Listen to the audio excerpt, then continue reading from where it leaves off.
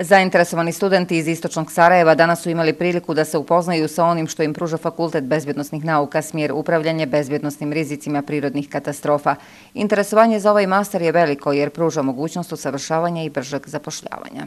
Mi smo prošle godine imali vrlo vrlo dobar, dobro primljen infodan u Trebinju, pomogla nam je gradska uprava i dobili smo dva studenta, vrlo kvalitetna iz Trebinja. Nadamo se da ćemo to postići ove godine u istočnom Sarajevu, jer želimo da među našim studentima bude prisna i ta regionalna zastupljenost, da ne budu svi iz Banja Luke i Krajine, nego da bude iz Hercegovine, iz istočnog Sarajeva, iz Semberije i Dobeja, dakle svi ti krajevi Republike Srpske su ugroženi više manje prirodnim katastrofama. Dakle, treba se pripremati dok se katastrofa ne dogodi, poznavati ih, te simptome, signale, evo, tsunami, recimo, mi nemamo tih problema, ali se tsunami može prepoznati i može se mnogo toga učiniti u smislu spašavanja ljudskih života. Naši su studenti u Beogradu proveli jedan semestar, njihovi su bili kod nas, dakle, i kroz razmjenu ideja, ljudi, iskustava, mislim da pružamo jedan doprinos. Studenti treba da ovladaju logističke izazove u toku pružanja pomoći, raspoređivanje uloge i zadataka u slučaju katastrofe, kao i prevenciju i mape rizika prirodnih katastrofa.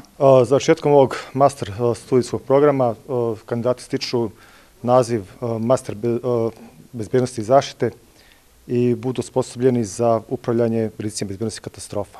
Dakle, oni se pošljavaju uglavnom u civilnoj zaštiti, a naravno i drugim agencijama koji se po priju svojih poslova suočavaju sa tim djelatnostima. Dokumenti se predaju do 16. oktobra, a potom će uslijediti prijemni ispit. Master traje godinu dana, a detaljnije informacije studenti mogu dobiti na Fakultetu bezbjednostnih nauka u Banja Luci ili putem sajta univerziteta.